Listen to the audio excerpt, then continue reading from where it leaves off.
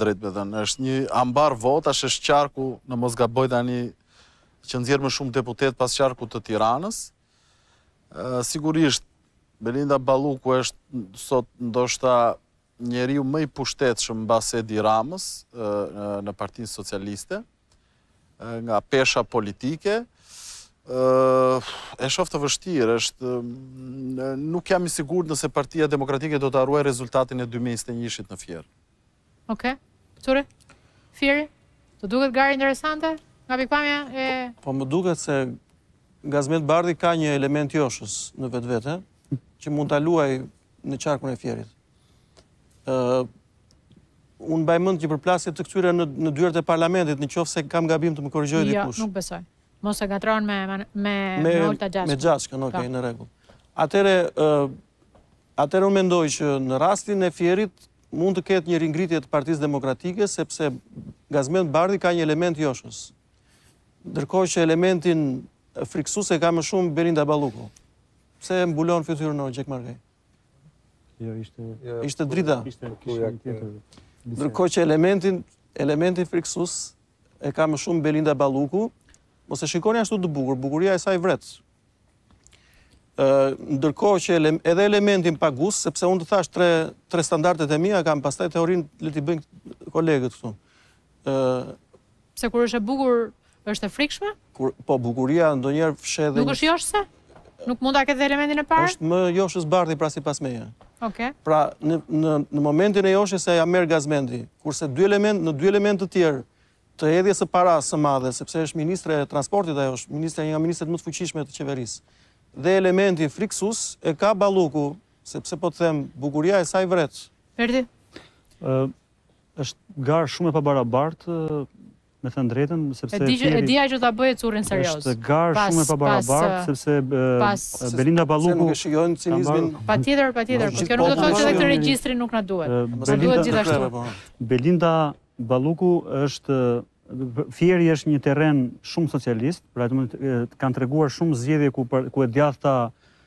Themi ka pasur ndryshime në të gjithë vendin, por në Fier, në qarku i Fierit ka qenë një qark shumë i çuditshëm nga kjo pikëpamje që është thuajse hambar i votave të Partisë Socialiste. Ka shkuar një figurë e cila, siç e tha dhe Iljazaj, është pas Edi Ramës sot është personi që ka më shumë pushtet në të gjitha klanet e Partisë Socialiste. Pra janë dy është është e blinduar nga dy aspekte, pra dhe nga një person me pushtet dhe nga një terren aty shumë shumë do domethënës. Gazment Bardhi? Gazment Bardhi nga ana e tij është shumë është ambicioz si politikan, por ka shkuar në Fier që nuk nuk e di ç'lidhje ka me Fierin, do të nuk e di a ka qenë ndonjëherë apo jo. E, po s'besoj që Balluku ka shkuar ndonjëherë në Fier, domethënë jo, jo, ka Balluku, kalimi i drejtuesve politikë dhe qarkullimi i tyre. Balluku shkon në Fier, Balluku shkon në Fier se ka pushtet. Ka shkon në Fier, shkon në Fier në një vend ku ka bashk i ka gjitha bashkitë socialiste, ka pushtetin qendror etj etj. Gazment Bardhi i cili nuk ka treguar, pra ka një lloj, është politikan luftarak në në publik, por nuk ka nuk në terren nuk ka treguar asgjë. Nuk ka treguar në një moment, pra të çosh Gazment Bardhin në Fier, ku nuk kemi, do më po thënë, nuk ka një... Po pse e ka bërë Partia Demokratike këtë, nuk e ka ditur rezultatin? Partia Demokratike, Sali Berisha e ka bërë këtë gjë në mënyrë krejt politike, sipas mendimit tim, sepse kryetarin e grupit parlamentar, nënkryetarin e partisë, E ka çuar në një terren të vështirë dhe i ka thënë që do të tregosh sa vlen. Trego këtu në terren, mos trego me llafe, llafet s'kanë vlerë. Okay. Por se i tha që ti ke bërë ato denoncime e tjera e tjera, por do të tregosh sa vlen aty. Ok, është i vetmi moment në fakt uh, që Berisha kur Pra në, në frontet më të vështira Grida do të shkojnë ata që kanë për kundërshtarin. Në frontet më të vështira, sa është front Fieri, është fronti ndoshta më i vështirë i mundshëm i Partisë Demokratike, do të shkojnë ata që cilët kanë ambicien më të madhe. Pra Gaz Bardhi deri tani është njeriu që ka treguar ambicien më të pakufishme, të shkojë aty ta provojë në qoftë se Pra politikisht ka bërë një strategji të duhur Berisha. Absolutisht. Shkojmë qarkun po. Elbasan. Mazniku, Salianji. Curri? Salianji tregon që fiton, përveç se ka mbi 9000 vota personale, që se unë i shikoj edhe votat personale, pra arrin del deputet vetë.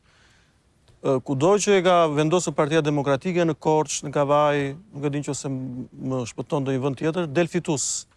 Pra Salianjin e kemi të fortë edhe në terren, edhe në studiot televizive, edhe në denoncimet që ka bërë, edhe pse vazhdon akoma është në një persekucion gjyqësor nga nga nga qeveria dhe nga dhe nga po, ish ministrat të po, fuqishëm. Po ndoshta për këtë shkak, ndoshta po, për këtë shkak se se kanë se kanë një shkak tjetër. Mazniku? Ë Mazniku është edhe ai i rrezikshëm në dinakërinë e vet. Ka një qetësi të çuditshme, është i vetmi person që unë në studio nuk e kam nxjerr dot nga, me të tjerët e kam pas kollaj. Me Maznikun ndoshta me atë kam dështuar, nuk e nuk e nxjerr dot nga vetja, se një nga mënyrat që Që vendoset në test një politikan karriere është kjo. Është të mundohesh ta nxjerrësh nga vetja që pastaj të bëjë gjeste sepse njeriu ka dy të folura, verbalen kur flet dhe aty gënjen gjithë kohës dhe joverbalen kur bën gjeste dhe mimika dhe aty nuk gënjen, është është real dhe unë aty dua ta çoj. Mazniku është i vështirë të çohet aty. Ë uh, unë besoj që uh, gara do të jetë shumë e fortë dhe interesante në Elbasan. Nuk e kuptoj pse lëvizi Berisha, mund ta mbante në Tiranë Salianjin, që e thatë disa herë. Por, duke çuar atje për mua, ka vulosur një garë shumë të fortë dhe pse jo edhe fitoren. Domethënë, unë besoj që Salianji do të ketë mundësi për herë të tretë të na tregojë fitoren. Pastaj Mazniku të thashë, është delegat më shumë. Interesant se sa joshës edhe trembës. Leza? Shiko, për Partinë Demokratike, qarku i Elbasanit është shumë i vështirë. është një terren i rrezikshëm, mbas gropës dy mijë e njëzet e njëshit po themi, ku doli më keq se asnjëherë në historinë e saj PD-ja, është një qark problematik për PD-në. Pra, është një lloj vështirësie e madhe që PD-ja të ringrihet në Elbasan. Në këtë kuptim, zotin Salianji e pret një detyrë shumë të vështirë. Është sigurisht për mua është një nga qarket më të vështira sepse e dim shumë mirë për shkak të kriminalitetit që ka qenë atje, të lidhjeve të bandave me politikën, për ngjarjet që kanë ndodhur në 2021-shin etj etj. Kështu që Partia Demokratike i ka dhënë mbi supe Salianjit një detyrë shumë të vështirë. Edhe në qoftë se përmirëson rezultatin e dy mijë njëzet e njëshit, duke parë terenin dhe kontekstin, unë do ta do ta quaja sukses të Partisë Demokratike. Berti. Nuk e di nëse do të ketë fitore apo jo, po edhe nëse pse, sepse konteksti është shumë i vështirë dhe vërtet dhe ndoshta Berisha ndaj e ka çuar Salianjin atje, duke qenë se pati sukses në Kavajë, ndoshta ka çuar një person që punon në terren, ai njihet si politikan terreni, organizative etj etj. Nga ana tjetër zoti Mazniku pastaj duket kështu si jo agresiv, duket si personazh jam dakord me ty, jo, si personazh i qetë, po për, unë nga burimet që unë kam dhe nga njohuritë që unë kam, për shembull zoti Mazniku përpunon të gjitha të dhënat elektorale të Partisë Socialiste. statistikat, sondazhet, është në krye të asaj strukture, edhe di çdo votues të Partisë Socialiste në gjithë Shqipërinë. Është një nga mendjet, po themi, të Partisë Socialiste që gjeneron të dhëna, përpunon të dhëna, data statistikore, tjera e tjera.